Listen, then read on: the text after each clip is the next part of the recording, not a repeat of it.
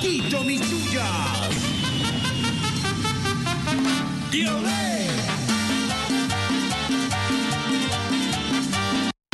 Y que viva Quito, mis chullas. Este es el primer noticiero de la comunidad. Hoy festejando a San Francisco de Quito. 488 años de vida, de existencia de su fundación española. Porque esta milenaria ciudad es milenaria. El reino de Quito tiene tanta historia Nada más festejamos esa unión maravillosa que se dio entre una cultura y otra cultura. Claro que sí, vamos a festejar a nuestra bella ciudad. Hoy un día realmente especial para todos los quiteños, para quienes también, pues no, nacimos en esta ciudad, nos sentimos eh, quiteños de corazón, porque nos ha abierto las puertas, nos ha permitido trabajar, crecer muchísimo, así que tenemos tanto que agradecerle a esta bella ciudad conocida como la carita de Dios, luz de América, en fin, nombres maravillosos que se le, eh, se le dan a esta ciudad precisamente por todo lo que significa. Una ciudad con unos paisajes extraordinarios, llena de volcanes, nueve son los volcanes que están alrededor de Quito, con unas vistas que realmente enloquecen y enamoran justamente a los que vienen de otras ciudades y, los que nosotros, nosotros vivimos, nos enamoramos, claro. Por eso hay una canción que dice, no hay cielo como el de Quito. Claro. Ese cielo azul tan maravilloso. Quito tiene muchas, muchas cosas maravillosas para visitarla y amarla. Claro que sí, déjeme decirle que los extranjeros aman el cielo de la capital, ese cielo tan azul, tan maravilloso. Y mire esa loma del panecillo, la Virgen del panecillo que nos observa. En fin, tenemos espectáculos realmente maravillosos de una ciudad con, con espacios increíbles, con historia, iglesias, gastronomía. En fin, esta ciudad realmente es hermosa. Así que vamos a tener programa especial, como puede ser otra manera, en homenaje a San Francisco de Quito pantallas divididas, damos la bienvenida a Marilyn Jaramillo, que está justamente en la Plaza de San Francisco, que es otra de esas plazas hermosas, y Priscila Cadena, que está en la Plaza de Santo Domingo. Así es, nuestras compañeras se levantaron tempranísimo para visitar cada uno de los lugares y mostrarnos las bondades de estos espacios maravillosos. En la Plaza de San Francisco, precisamente, se encuentra Marilyn Jaramillo, y en la Plaza de Santo Domingo está Priscila, que nos van a contar detalles de lo que se Efectivamente, ahí están. Vamos, a dar paso a Priscila. Priscila, que está justamente en la Plaza Santo Domingo, que esta es una plaza llena de historia también, que ha cambiado mucho a lo largo del tiempo. Priscila, adelante, buen día. Gracias, eh, Roberto. Diana, amigos, buenos días. Así es, estamos celebrando a nuestra ciudad por lo alto, 488 años de fundación y también se viste de rojo y azul. Ustedes ya lo decían, estamos en la Plaza de Santo Domingo, centro histórico de la capital, que es una plaza muy conocida. Sus inicios, pues prácticamente era un mercado ya, pero con el paso de los tiempos y de a poco, también se construyó la iglesia que lleva el mismo nombre. Miren ustedes en las imágenes, así es como se encuentra a esta hora de la mañana este lugar que es tan tradicional también y propio de los quiteños, como decían ustedes también. Los turistas les encanta visitar nuestra ciudad, sobre todo patrimonio cultural de la humanidad.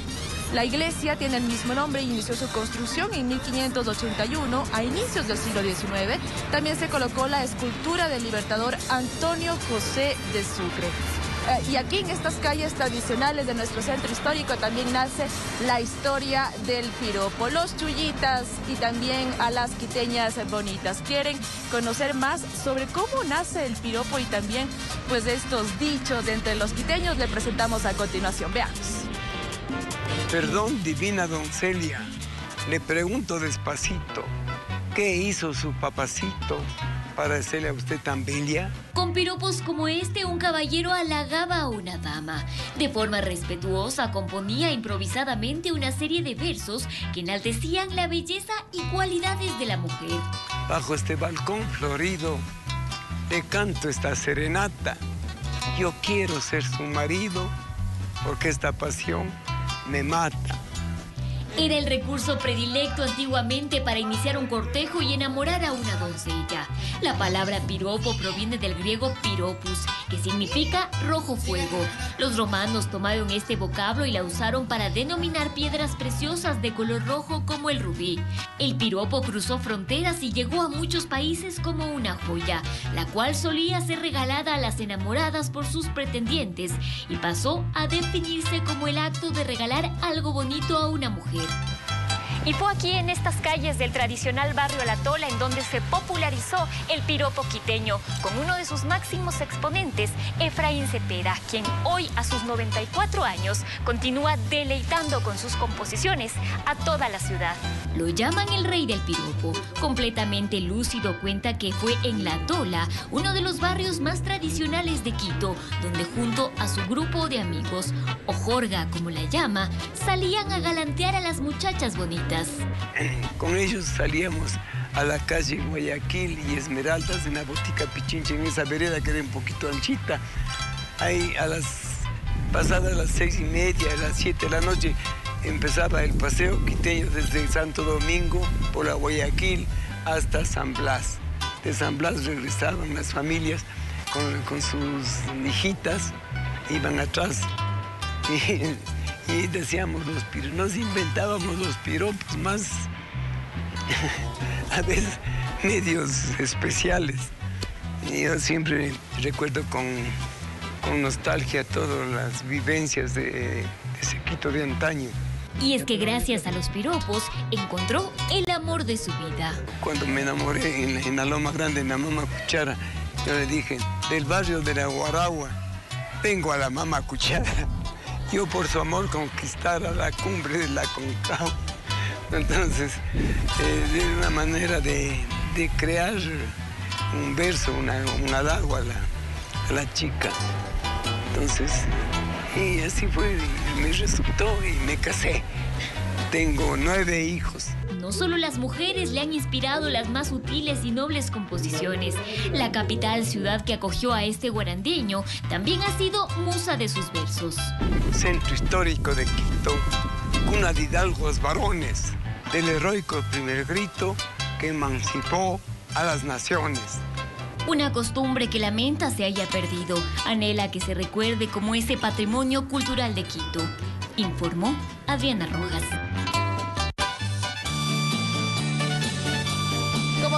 En este reportaje, el piropo es una forma de halagar a la mujer y también así nacían los primeros amores en nuestras calles del casco colonial. Una tradición que inició en el barrio La Tola, que también es un barrio muy tradicional de nuestra ciudad.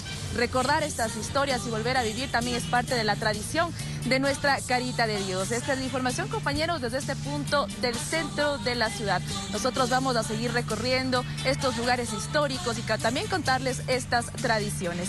Con esta información seguimos con ustedes y, por supuesto, que viva Quito. Y que viva Quito, qué lindo recorrer nuestra ciudad. Eh, Diana, compartir esas imágenes, historias que se tienen. Claro que sí, y los piropos que no pueden faltar, déjenme decir. ¿Saben ¿Le han piropeado? Claro que sí, sobre todo en la plaza, la plaza de la Independencia. Ahí ¿no? Por están. ahí. Pero esos, esos son piropos elegantes, piropos con respeto, de esos que se sigan manteniendo. De ¿no? esos chulitas quiteños que aman el piropo. Claro. Vamos ahora, en cambio, donde está Adriana Rojas, en el Colegio Mejía. Ah, sí. colegio que se fundara en, 19 en 1897 y tiene una particularidad. Fue el primer eh, normal, como se le llamaba en esa época, laico. Así es, primera institución laica precisamente declarado por la Asamblea Nacional, el Congreso en aquel momento. Bueno, Adriana nos tiene más detalles desde este colegio emblemático. Adelante. Así es, Roberto, Diana, amigos televidentes, muy buenos días. Nosotros nos encontramos en las instalaciones de este templo del saber que por décadas ha formado a un sinnúmero de estudiantes, generación tras generación. Y como ustedes los lo decían, fue la primera institución educativa laica que se creó en 1897 bajo decreto del Congreso Nacional. Y ustedes sabían que el colegio era de hombres y mujeres.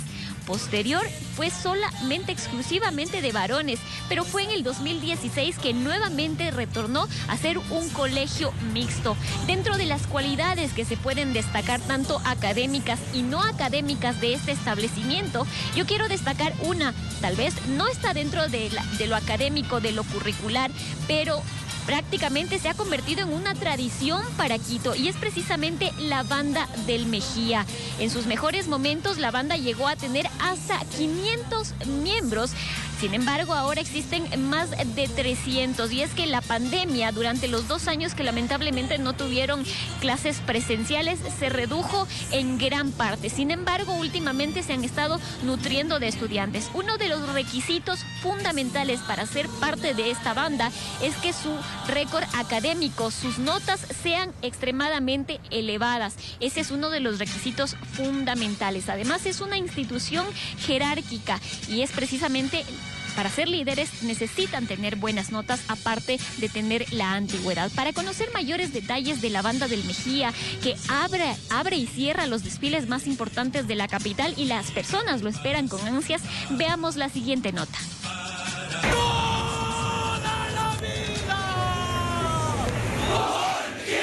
Es el grito que por décadas se ha escuchado en las calles de la capital, anunciando el paso de la banda estudiantil del Instituto Nacional Mejía. Su presencia se impone con el retumbante sonido de tambores, bombos, liras, tenores, flautas y trompetas, acompañados por la destreza de cachiporreros y bastoneras. Su participación se ha convertido en una tradición para Quito. Guarda una historia que entrelaza patriotismo, civismo, rebeldía y hasta un tinte político. Las bandas de guerra, como se las conocía, cobraron vida en el país dentro de colegios laicos durante el gobierno del general Eloy Alfaro, época liberal en la que existía un sentimiento y una disciplina de tipo militar. De hecho, fueron miembros del ejército quienes instruían musicalmente a los alumnos. Tras la muerte de Alfaro, su actividad fue intermitente. La banda aparece por primera ocasión en el 19 de marzo de 1922 como el Batallón Mejía y tuvo una pausa muy amplia. Eh, aparece el 19 de marzo de 1941 ya como Guardia Nacional en el periodo de presidente Carlos Arroyo del Río con una banda de guerra de 15 estudiantes. Reaparecen definitivamente en ese año debido a que existía un sentimiento de frustración en Ecuador por la derrota militar ante Perú y la pérdida de gran parte de territorio. El país requería fortalecer y levantar su ánimo cívico.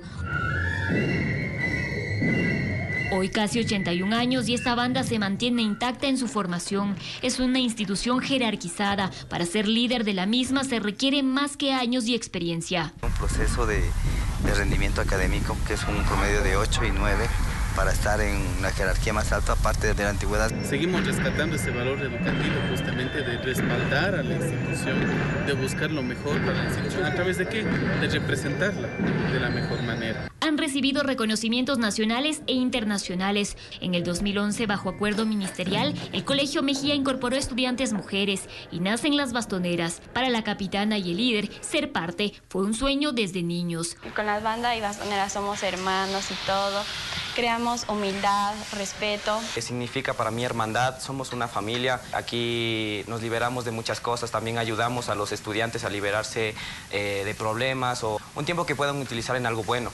El amor y la pasión que sienten por la banda del Mejía los ha llevado incluso a formar una organización de ex estudiantes que acompaña en cada una de sus participaciones, sobre todo en las fiestas de Quito. Los ex estudiantes suenan en las calles capitalinas desde 1995. Hace 14 años se constituyeron jurídicamente como una asociación. Si ustedes ven, la mayor parte ya, ya pinta canas igual que yo.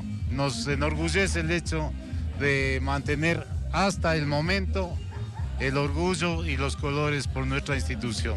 Por momentos dejan sus actividades diarias, su trabajo, su familia e incluso los problemas para ensayar y presentarse en los eventos. Y es que hay mucho que los motiva. Esta familia, la banda de guerra, cada uno me involucra un sentimiento, involucra el amor que se tiene hacia nuestros colores el sentimiento que se tiene hacia el arraigo de la, del pueblo es nuestra pasión. Una pasión por el patrón Mejía que no termina.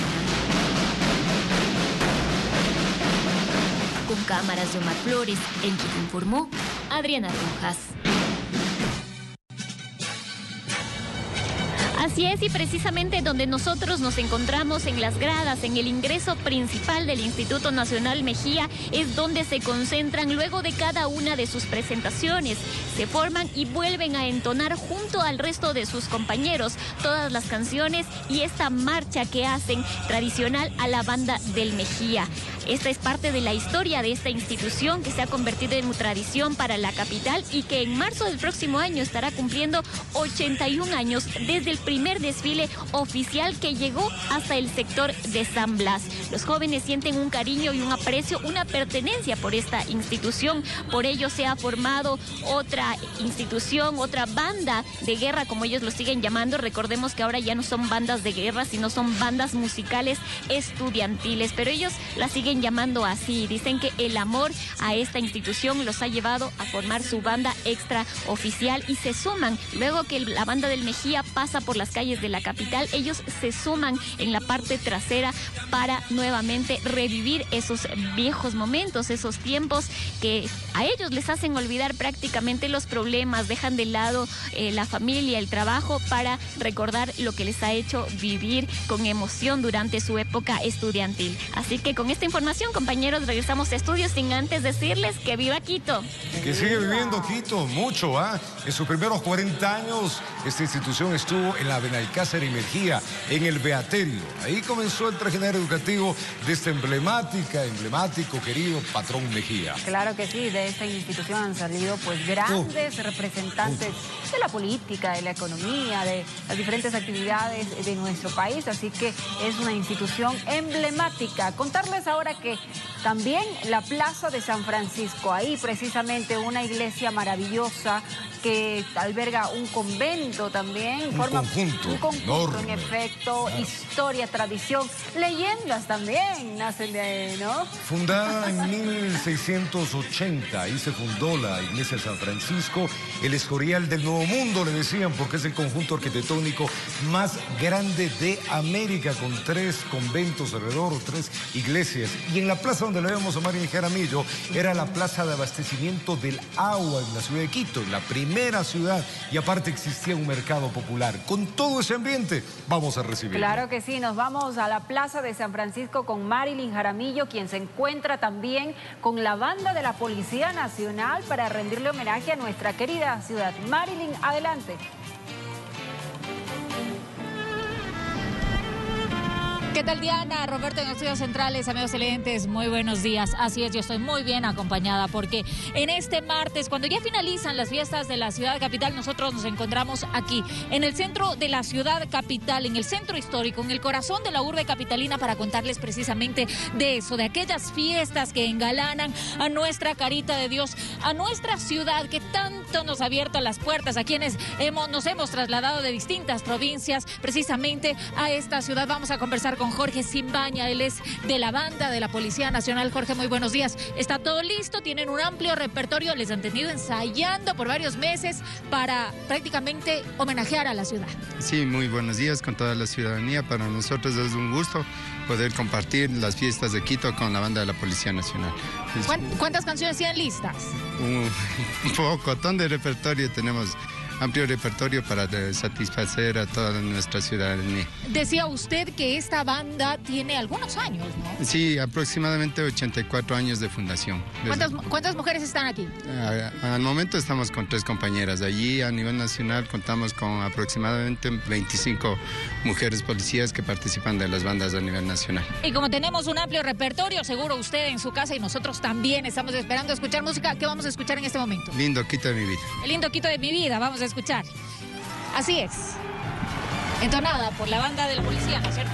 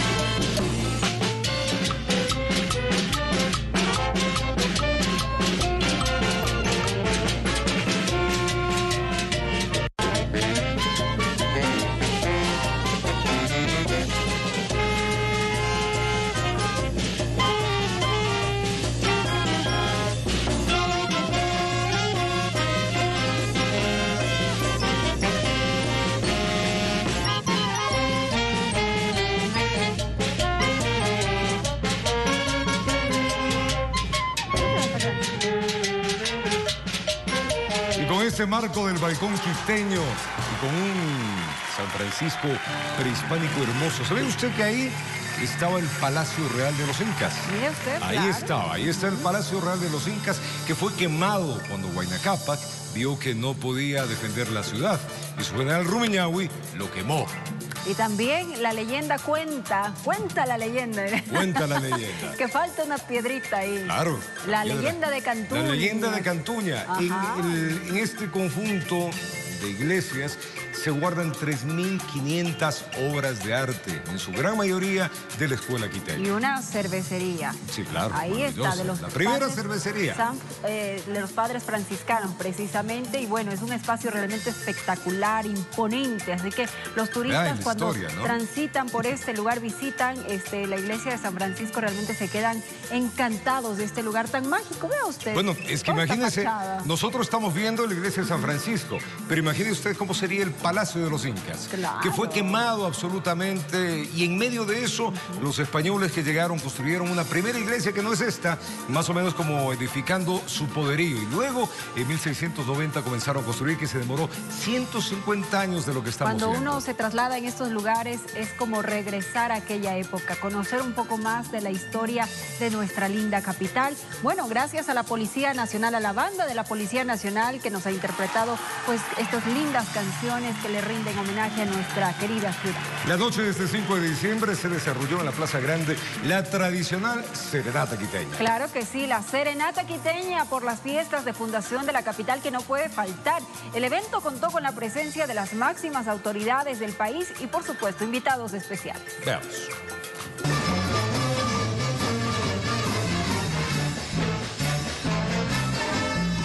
Con música en el corazón de Quito. Así inició la serenata quiteña en la Plaza Grande por los 488 años de fundación de la capital. Evento al que asistió el presidente de la República, la primera dama, ministros de Estado y público en general, quienes disfrutaron de temas tan emblemáticos como el chuya quiteño, entre otras canciones.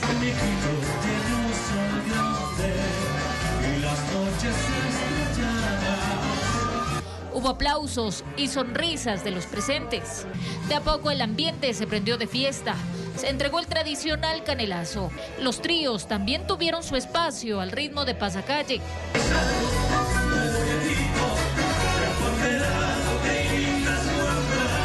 Miles de capitalinos disfrutaron de los eventos organizados en distintos puntos de la ciudad. porque he visto una participación de toda la ciudadanía. Yo creo que eso es lo más importante. La carita de Dios festejada por sus habitantes, quiteñas, quiteños, chagras, en desfiles maravillosos, en actos más de 260. Hemos visto espectáculos de, de primer orden. Se tiene previsto para este martes la presentación de los artistas Anuel AA y la colombiana Fanny Lu en el Parque Bicentenario. Informó Marilyn Caramillo. Que viva Quito, que viva Quito. Y si algo heredó el pasado a los quiteños son los problemas y la sal. Por supuesto, la sal quiteña, sin lugar a dudas, es el máximo exponente de esto, de esto que hace algunos años habían las estampas quiteñas y uno de los exponentes maravillosos fue Ernesto Albán Mosquera, conocido como el famoso Don Evaristo, este personaje que colaboró con los capitalinos para sobrellevar la alegría, las sonrisas y lo difícil que era complicado que sigue siendo complicado vivir en este Quito y en nuestro Ecuador. Revivamos. Quito, la capital de los ecuatorianos, ha mantenido durante su historia el peso del ejercicio de la política gubernamental y de concentrar a las principales instituciones del Estado. Eso le ha traído más de un problema y, por supuesto, críticas y críticas maquilladas en buena parte desde el humor, para no hacer más amarga la existencia de los ciudadanos.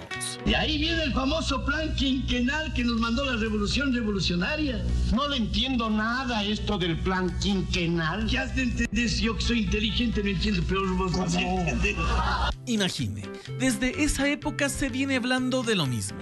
Sin embargo, ahí se le tenía a don Evaristo, que a falta de internet podía hacer comprender a cualquier cristiano la realidad nacional del país y la forma de ahorrar para no empobrecerse más. ¿Cuándo se ha visto las papas más caras que los huevos? Nunca. Jamás. Jamás. Una hoja de col, seis reales, zarzosa. Y una hoja de afeitarse, media usada, cuatro reales. Vamos a tener que comer los ecuatorianos hojas de afeitarse para cortar el hambre de los ecuatorianos.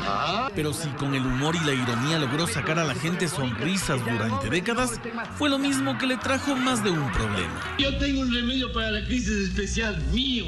Ay, pero no me atrevo a decir en media palabra porque a lo mejor me toman por antirrevolucionario y a mí la cárcel ni de lejos, Sosa, ni de lejos. Eso sí, don Evaristo para dar consejos en temas económicos tenía las soluciones más descabelladas. ¿Qué propone usted? Que el comercio de la costa y de la sierra suspendan las importaciones. Y los que desean congeladoras, refrigeradoras, el que quiera conservar algo helado, que vaya a vivir en la Tacunga, tan linda ciudad, hazme el favor. Allá, pues. Como lo ha escuchado a lo largo de esta narración, su humor era distinto. Era la personificación misma del Chuya, que aunque no cocinaba, dejaba grabado en la gastronomía del ciudadano de a pie su buena sazón, con sal quiteña. Incluso después de su muerte, ayudó con su particular forma de ser a educar a los capitalinos. Eran otros tiempos. ¿Qué pasó, pues, mi chulla? Haciendo pies en la pared. Ahora sí, que este chulla me hizo tener iras. Ernesto Albán, quien personificó a don Evaristo, aunque no era quiteño, llevó cual chagra empoderado a la capital en el corazón. Fue un piropero elegante, actor, cantante de tangos y vacilador innato. Su esencia hoy forma parte de todas las generaciones de quiteños. Que nos den constitución y que vuelva la alegría. Informó Javier Rosero.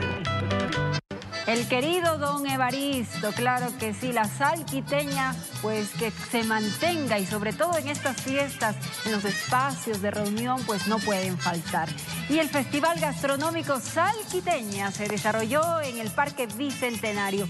Más de 70 expositores deleitaron a los visitantes quienes disfrutaron de música y una variedad de comida proveniente también de la costa y la Amazonía.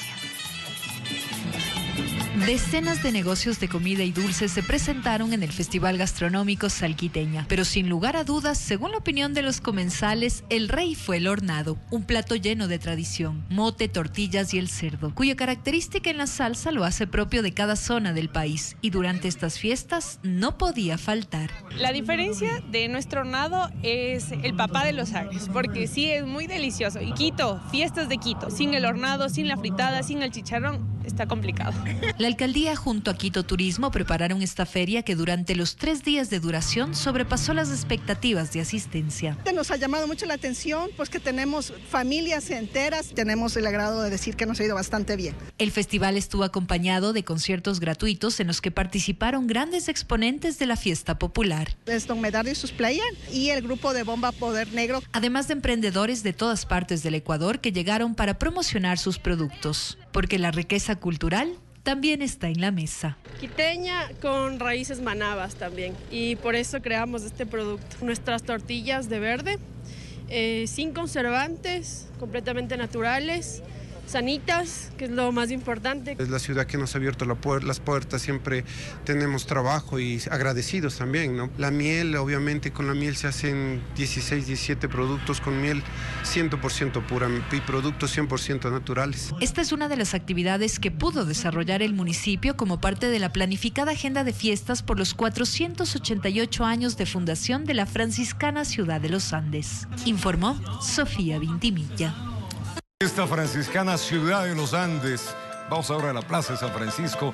Allí está Marín Jaramillo. Lo vemos ya en escena. Y justo donde está Marín Jaramillo, ahí junto a la banda de la Policía Nacional, existía una fuente de agua, Marilyn. Esa fuente de agua abastecía a toda la ciudad con el famoso líquido vital. Y tú nos vas a abastecer de música. Así que adelante. No precisamente yo les voy a abastecer de música, pero sí tengo cantantes aquí, 8 de la mañana, 38 minutos. Estamos con mucha alegría aquí en, el, en uno de los puntos principales precisamente de la ciudad capital, en la Plaza de San Francisco. Me decía usted, eh, Jorge Simbaña, me decía que ustedes habían tenido algunos eventos, algunas presentaciones Sí. por la fiesta de la capital. Sí, aproximadamente unas 40 presentaciones estamos durante toda la semana. Y el día de hoy vamos a estar a las 11 de la mañana aquí en la misa de acción de gracias, en a la capital. Y igualmente tenemos una procesión.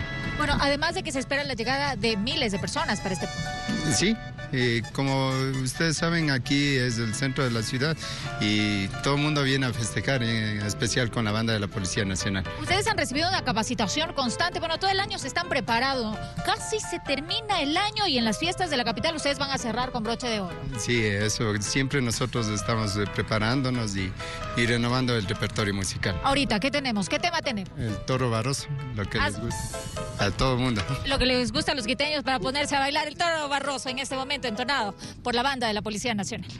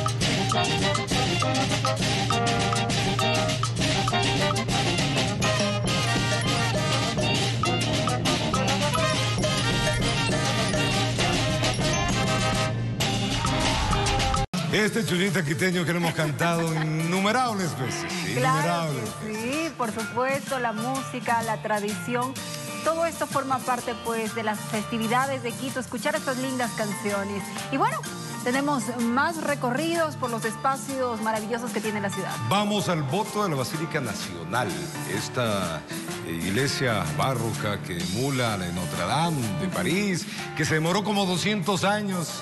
200 años que irse incompleta, ¿no? Pero ya acabaron, no sabe. Uno y decía, ¿cuándo irán a acabar eso? Pero mire, es una de las más lindas barrocos del mundo. Tiene una apariencia gótica, precisamente esta basílica maravillosa, donde Adriana Rojas se encuentra en este momento y nos da detalles, por supuesto, de esta basílica tan especial, visitada por turistas. Aquí, pues, congregan a un montón de gente que quiere visitarla y tomarse Ahí están los presidentes, ¿eh? Así es. Ahí están los presidentes. Adriana, buen día, adelante. Roberto, Diana, amigos televidentes, muy buenos días. Así es, es una verdadera joya arquitectónica de estilo neogótico y se caracteriza principalmente porque sus techos son extremadamente altos, puntiagudos, tiene vitrales gigantes y una cosa en particular, las llamadas gárgolas. Estas gárgolas no son como las que se ven en los eh, templos de similares características que existen en Europa. Nuestras gárgolas particularmente marcan la diferencia porque estas no son los personajes míticos que suelen ser.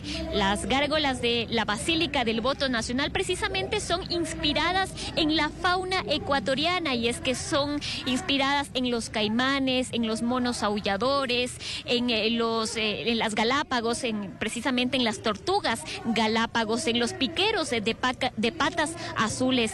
Esta es la característica principal. También decirles que por sus dimensiones, por sus características neogóticas, precisamente es el templo religioso más grande de América y también el más alto de Hispanoamérica. Esto lo hace particular y diferente a otros templos. Y como lo habían dicho, su creador fue un arquitecto francés que precisamente tras su amplia trayectoria en este tipo de diseños fue convocado hasta Ecuador. Sus planos tomaron desde 1890 hasta 1896 y su construcción precisamente más de 200 años. También es parte de la historia de Quito, marca precisamente esa, ese, la consagración precisamente de la capital de los ecuatorianos al Sagrado Corazón de Jesús. Recordemos que los españoles llegaron aquí a estas tierras y catolizaron precisamente a la, a la población quiteña. Para conocer más detalles acerca de esto y también de la fundación, que hoy precisamente se cumplen 486 años, les hemos preparado la siguiente nota.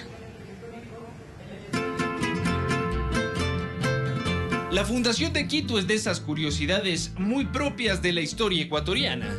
Y es que primero la ciudad se creó en papeles y luego de varios meses se plasmó en la realidad.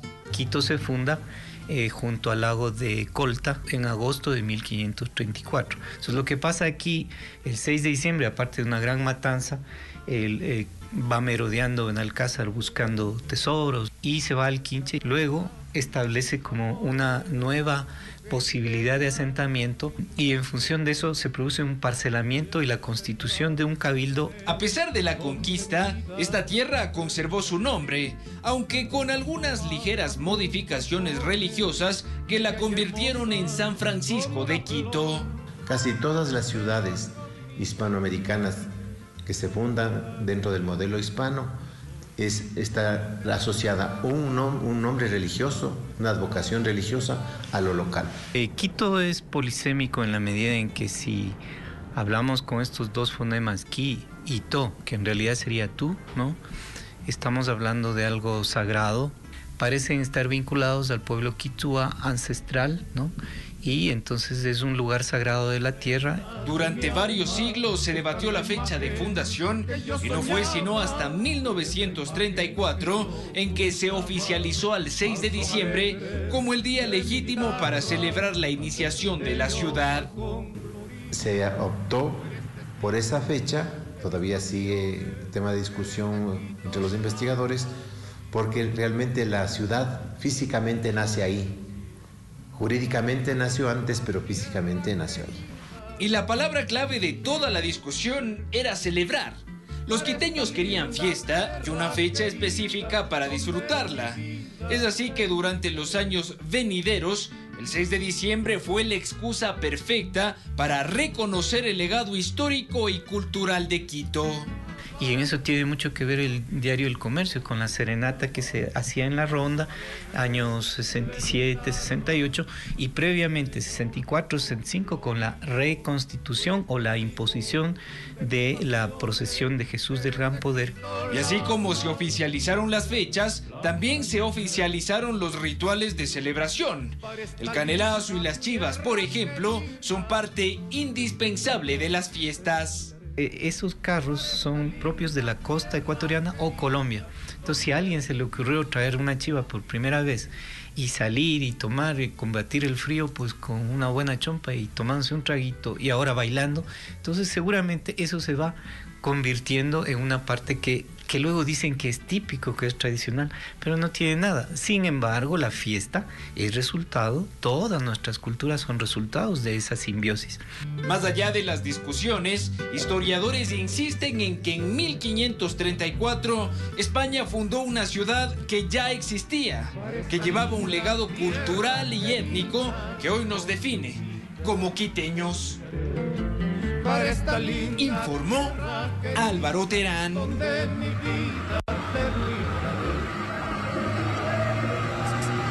Y es así que hoy 6 de diciembre Quito cumple 488 años de fundación y qué mejor manera de festejar a la carita de Dios que visitando estos lugares, estos espacios tradicionales que nos enorgullecen como ecuatorianos y también a los capitalinos y aquellos que la ciudad ha acogido como propia.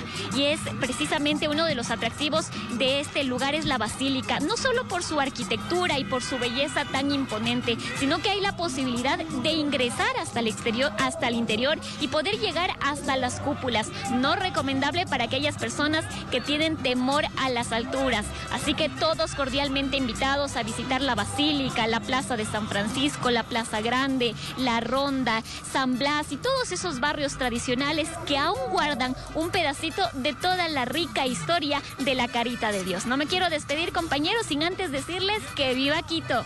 Y que viva Quito y no solamente guarda esa historia, sino imaginemos el centro histórico, que hemos hablado de la primera ciudad, ¿cómo sería el Quito prehispánico? Este Quito que tenía también una cultura, que tenía templos, si esto hubiera sobrevivido, hubiera sido maravilloso. Lamentablemente los españoles tenían esa usanza, ¿no? De, pues, eh, sencillamente construir sobre los templos indígenas de toda Latinoamérica. Claro que sí, mucha historia es lo Mucha, que tiene la mucha. capital. Así que les invitamos, como lo decía Adriana, recorrer estos espacios maravillosos con sus hijos sobre todo, porque hay que ir heredando la historia para que ellos reconozcan, para que la valoren y pues la transmitan a las nuevas generaciones. Yo le invito a que nos vayamos con música a la Plaza de San Francisco, imagínense, Vamos. con dos botes de agua para traer agua para Claro. las casas. ¿ah? De ahí los aguateros que eran tan importantes en esa época. Exactamente, usted lo ha dicho. Nos quedamos con la música de la banda de la Policía Nacional que nos acompaña en este homenaje a nuestra bella ciudad y nos vamos a un corte, mi querido. ¿Y le parece, sabe qué? De pasito hacemos compras. Claro Vamos que allá. sí, vamos.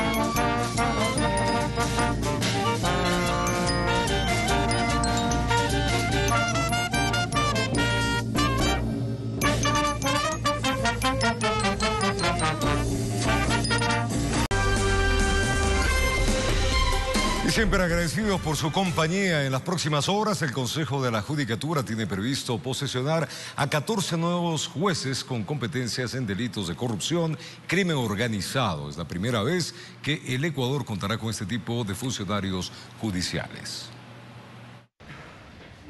Hace ocho meses, con 425 postulantes, arrancó el concurso público de oposición y méritos, impugnación ciudadana y control social. De ese número 35, luego de varios procesos, pasó al curso de formación en escuela judicial, quedando 14. Ellos son, de la Sala Especializada Penal, Silvana Velasco, Byron Uzcategui, Mabel del Pilar Tapia, Lauro Sánchez, Esteban Coronel y Willer Choes, del Tribunal de Garantías Penales especializado, Clara Soria, Mario Muñoz, Jorge Sánchez, Carlos Serrano, Cristian Fierro y Consuelo Tapia, de la Unidad Judicial de Garantías Penales especializada, Renan Andrade y Vicente Hidalgo. La designación de las juezas y jueces con competencias en delitos de corrupción y crimen organizado se dio por unanimidad del Pleno del Consejo de la Judicatura. Informó Héctor Romero. Y este lunes la Asamblea Nacional en sesión virtual buscó posesionar a los consejeros suplentes del Consejo de Participación Ciudadana y Control Social. De los convocados, solo se presentó Gina María Aguilar Ochoa, misma que tras el juramento tomado por el presidente legislativo Iván Saquicela fue posesionada. Con esta son tres eh, los, ya los intentos por llevar a cabo el proceso relacionado a los consejeros suplentes. El presidente de la Asamblea Nacional eh, desconoce la medida cautelar que el pasado 23 de noviembre fue aceptada por un juez, dejando sin efecto la destitución de cuatro consejeros del Consejo de Participación Ciudadana y Control Social.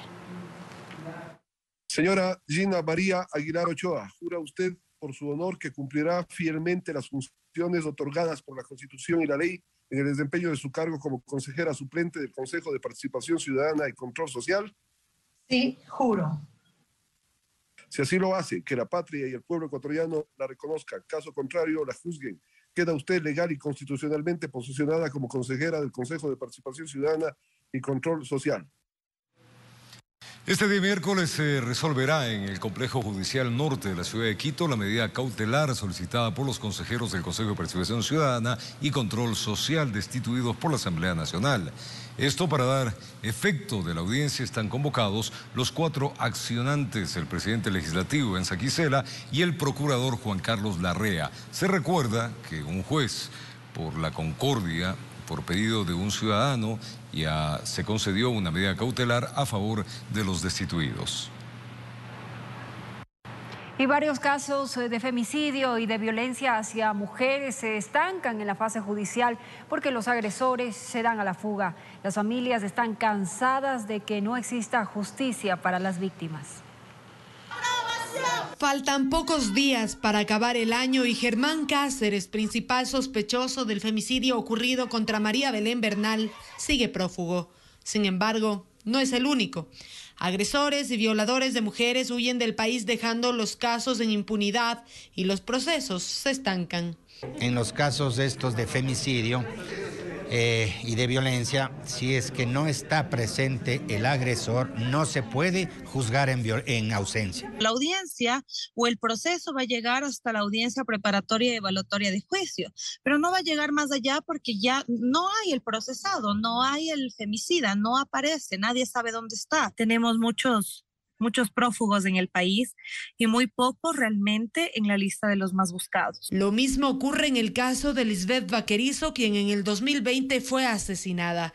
Su esposo principal sospechoso también está prófugo. Muchos agresores, víctimas, eh, perdón, muchos agresores de víctimas de violencia de género son encontrados después de cuatro o cinco años, incluso en sus mismas casas. Entonces, la evaluación para determinar si es que solamente es porque no pueden enjuiciarlos por ausencia es algo bastante superfluo, de hecho. El problema y el nudo crítico va mucho más allá de eso.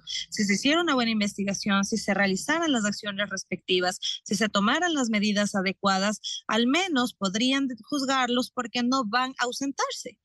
Otros deciden huir por la frontera de Colombia y Perú. Es algo barato, con controles que se pueden evadir. La situación es desgastante para las familias de las víctimas que demandan justicia en un país donde los principales sospechosos de femicidio se huyen en las narices de las autoridades.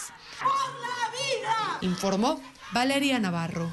La Asamblea aprobó una ley que busca evitar el retiro de mercancía a comerciantes. Para ello el municipio pues deberá modificar sus ordenanzas y brindar espacios para que los vendedores puedan trabajar. Escenas como estas en donde comerciantes son despojados de sus mercaderías por no estar regularizados es lo que se busca evitar con la Ley de Defensa y Desarrollo del Trabajador Autónomo y Comerciante Minorista, que fue aprobada por la Asamblea Nacional. La prohibición de confiscación, de retención, de, quitarles su, su capital de trabajo, que ya está en la Constitución de la República, lo desarrolla en esta ley el hecho de que incluso les botaban las cosas al piso, ¿no? O, por embarcarles en el carro sus carritos, les tiraban a un lado eh, sus mercaderías. Entonces, esto ya no puede suceder, esto se vuelve intocable de acuerdo a la ley. Y esta misma ley le da seis meses de plazo a los municipios para que reformen las ordenanzas. La ley establece sanciones civiles, penales o administrativas a los servidores públicos que no acaten la norma. Pero también pone límites a los comerciantes, pues los mismos deben trabajar en espacios autorizados. Esta ley también es clara, dice que los comerciantes en los lugares o espacios públicos permitidos para la venta. Entonces, eh, no es que tampoco se está dejando libre para que eh, las ciudades se conviertan en un mercado. Y es que las ventas ambulantes han crecido en los últimos años tras la pandemia y la falta de empleo. Los municipios deben afrontar el reto de adecuar espacios para ubicar a los vendedores y debería pensarse en espacios en los que los comerciantes puedan expender sus productos y no necesariamente pensar de que toda la vida los podemos tener en las calles. Repito, Quito ha dado algunos buenos ejemplos, como en el caso de la Marín, como en el caso de lo que antes se le llamaba la Plaza Ipiales. La norma también brinda otros beneficios a los comerciantes, como es la afiliación al IES, el acceso a bonos de vivienda y de crédito. Todo comerciante minorista que no tenga un capital más allá de 14 mil dólares es considerado eh, eh, como tal y tiene que tener, acogerse, puede acogerse a los beneficios que va a otorgar la ley. La ley no pasará por el veto presidencial debido a que ya fue vetada en el año 2011 durante el gobierno de Rafael Correa. En los próximos días o semanas, la misma deberá publicarse ya en el registro oficial, informó Valeria Navarro. Elementos de la División Libertad de las Fuerzas Armadas tendrán cuatro días más de descanso durante las fiestas de Navidad y fin de año. Así lo anunció el presidente Guillermo Lazo, quien visitó el cuartel del Quinto Guayas, ubicado en la vía Daule. El presidente madrugó al fuerte Huancavilca para agradecer el apoyo de Fuerzas Armadas en las calles y cárceles del país, sin doblarse que están poniendo el pecho a las balas, que se enfrentan a la delincuencia y los someten como lo han hecho durante las últimas semanas. Destacó así el trabajo de los elementos de la Segunda División Libertad, no solo en los estados de excepción, también durante el Plan Nacional de Vacunación 900 y otras emergencias. Fue el caso de Saruma, fue el caso de Chimbo y fue el caso de muchas otras situaciones como la crecida del río que arrasó con el recinto El Palmar en la carretera La Tacunga-La Maná. señor presidente, gracias. Pero es diciembre y el mandatario no llegó con las manos vacías. Los días de Franco o de vacaciones que tendrán este fin de año para cada uno de los dos grupos se incrementará de 6 a 10 días.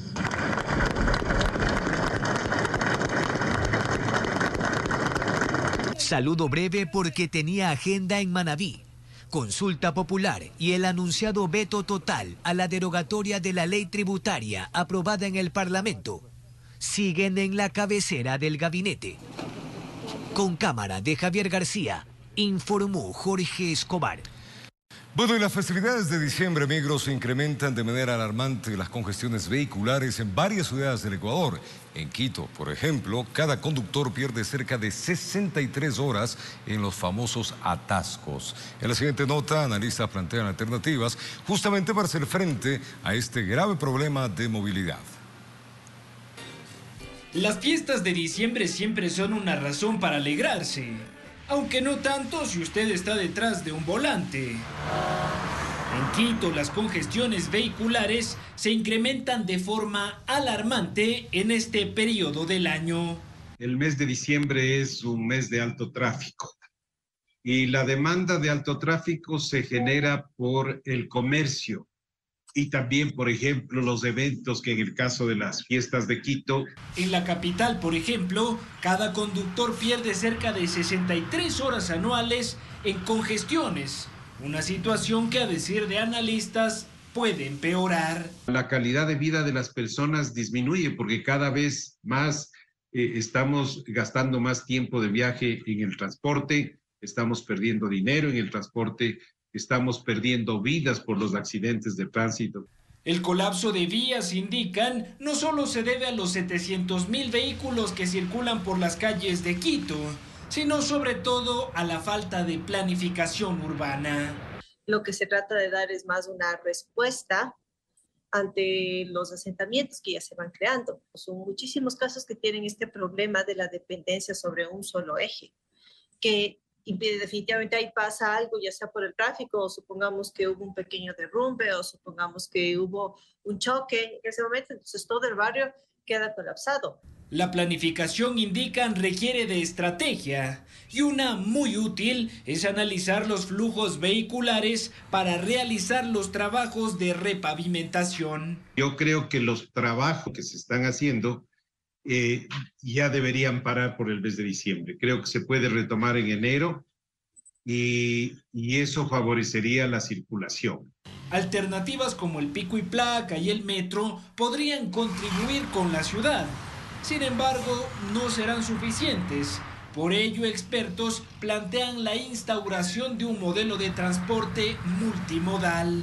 El multimodal implica que se maneje lo peatonal, que se maneje lo ciclista, que se maneje muy bien el sistema vehicular masivo y que lo que debía haberse hecho con tiempo, que se maneje muy bien un sistema de metro aéreo e incluso eventualmente en ciertos puntos metroféricos.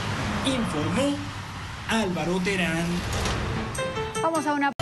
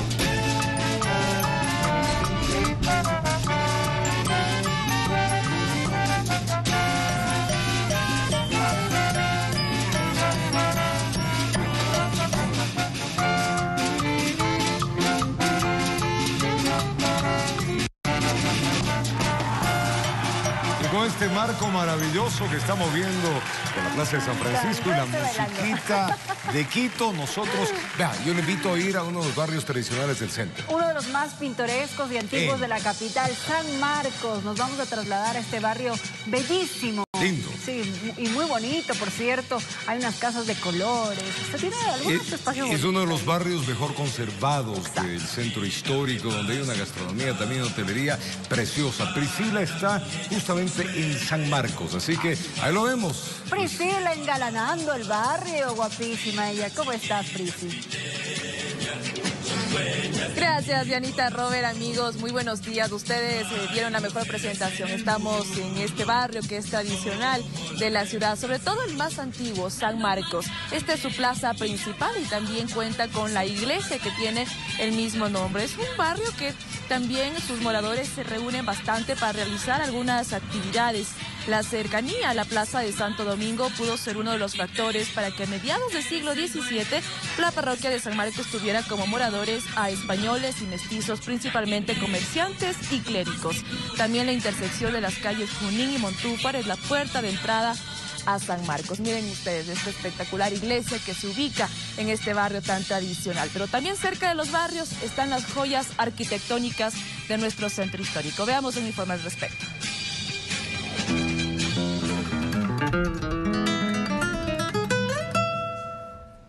La Catedral Primada de Quito fue construida en 1535, el templo más antiguo de la región que acoge en su interior historias y arte invaluable. Allí reposan los restos del mariscal Antonio José de Sucre en un mausoleo edificado en 1932, engalanado con el talento del pintor Víctor Mideros. Entramos y una vez que llegamos hacia el centro del mausoleo, ¿qué es lo que queda atrás, no? Ahí ubica el cuadro de la noche, al frente de la tumba de de Sucre encontramos eh, la obra que se llama El Día. A la, derecha tenemos el occidente, está la cima de la libertad, es el lado izquierdo. está en cambio eh, la batalla de Ayacucho. En el lugar hay imágenes que datan del siglo XVII, como el retablo de Santa Ana que con el pasar del tiempo incorporó piezas que conjugan la cultura de la península ibérica y el continente hispano. Eh, que fueron pintadas por Bernardo Rodríguez y también con, Manuel Samaniego. Entre los dos realizan la, pintura de, todas estas eh, escenas que tenemos de, la vida de, Jesús eh, aquí en, las arquerías. En la nave central de la catedral, a la derecha del retablo mayor, hay un lienzo con la última cena y el plato central es un cuy. Historiadores y arqueólogos comentan que en el sitio hay evidencia de asentamientos incluso prehispánicos. Por ejemplo, a través de documentos históricos se menciona que posiblemente uno de los españoles que estuvo enterrado aquí fue el primer virrey de Perú, Lasco Núñez Vela. La catedral no solo es la iglesia más antigua de Sudamérica, al parecer allí también está el cementerio más antiguo, al menos de la ciudad. Tras una intervención realizada por el IMP el año pasado, se encontraron osamentas de personas que habrían habitado la zona durante la fundación de la capital. Al hacer los análisis de laboratorio pudimos definir que estos restos corresponden, eh, están fechados en el 1580 después de Cristo, o sea, de nuestra era. Eh, con ese dato empírico, hasta el momento podemos mencionar que aquí en la catedral se ha registrado el, cementerio más temprano del Quito colonial. La hora iglesia del Sagrario fue la capilla de la catedral hasta el siglo XVII. Actualmente efectúa misas diarias y durante los fines de semana se pueden visitar sus cúpulas. Todas las catedrales del mundo, hay un, casi en todas las catedrales del mundo, me imagino, eh, existe eh, una capilla dedicada al sagrario, ¿no? Entonces, este, este, este, en algún momento, y hay, y hay espacios donde que se comunica todavía eh, la catedral con eh, el sagrario. Conforme pasa el tiempo, investigadores se maravillan con los hallazgos que son preservados no solo para el deleite, también el objetivo es generar aportes sociales. Las estructuras coloniales, sobre todo las iglesias, se construyen en gran medida sobre sitios que tenían importancia simbólica en el mundo andino. Entonces, posiblemente en el centro histórico, sin lugar a dudas, se construyen varios templos religiosos eh, católicos, pero eh, eh, en el pasado había posiblemente algún, alguna estructura prehispánica, puede ser inca o incluso preinca. Sin lugar a dudas, esta área, en esta área había ocupación prehispánica. Se encontró incluso fragmentos de arriba los incas. Este año se conmemoran 488 años de fundación de una ciudad donde se atesora el pasado y se alberga la esperanza de días mejores. Con cámaras de Henry Peñaranda informó Sofía Vintimilla. Estas son algunas de las joyas arquitectónicas que encuentra nuestro casco colonial, que también es el mayor preservado y también que lo visitan miles de turistas. Con esta información, compañeros, seguimos con ustedes. Un excelente día. Ya en San Marcos, algunos visitantes dicen, incluso gracias a Priscila, que tiene un, rinconcito de New Orleans. ¡Ay, qué lindo! un rinconcito, unas cositas, ¿no? Que es un barrio muy bohemio, el más antiguo y se ha preservado realmente bien. Sí, es un espacio realmente maravilloso maravilloso, hay que cuidarlo. Así los vecinos que cuiden sus fachadas, que estén limpias, con esos adornos de las flores. ¿Cuál es la flor típica? ¿Se me fue? ¿La orquídea? No, no, la, la otra. Gardenia, ¿no? Se me fue. ¿Se le fue? Ya tarea para mañana. Hay, hay una flor que siempre pues es típica. Eh, geranio, geranio, geranio, Ahí está nuestra productora. Claro que sí, ahí estás adornadas con geranios, pintadas de colores. Qué lindo que es nuestra capital. bueno, Quito sí. Y hay, que, y hay que preservarlo, mantenerlo, cuidarlo. Y ese es un legado que las nuevas generaciones, esta generación lo tiene que aprender a respetar, a no mancharla, a no ensuciarla. Y todos tenerla limpia, porque no solamente es, es cosa del municipio y sus personeros, todos hacemos la ciudad. Exacto. Exactamente, usted lo ha dicho, todos tenemos responsabilidad de mantener hermosa a nuestra bella ciudad. A esta hora, ¿qué le parece si nos trasladamos ya nuevamente con Marilyn Jaramillo? Pero permítame irnos con Marilyn y a despedir, porque con Marilyn nos vamos. Así es. Vamos con musiquita. Musiquita, ¿Me nos parece? despedimos. Nos despedimos con música y gritando Viva Quito. ¡Que viva Marilyn, Quito! vamos. Marilyn, adelante. Así es, que viva Quito, Diana y Roberto. Que viva no solamente en estas fiestas, sino que también cuidamos, que protegemos nuestra hermosa ciudad, esta bella ciudad, este bello espacio que nos ha abierto las puertas a tantas personas que nos hemos trasladado de distintas provincias acá a la Carita de Dios. Nos vamos a despedir, Jorge. La banda de la policía está en distintos puntos de la ciudad, por eso tenemos la mitad de elementos aquí. Sí, en este momento la banda igualmente está cubriendo otro tipo de, de eventos en homenaje a la Carita de Dios. Nos estamos despidiendo, que viva Quito. ¡Que vivan! Así es, nos quedamos con música entonada por la Policía Nacional.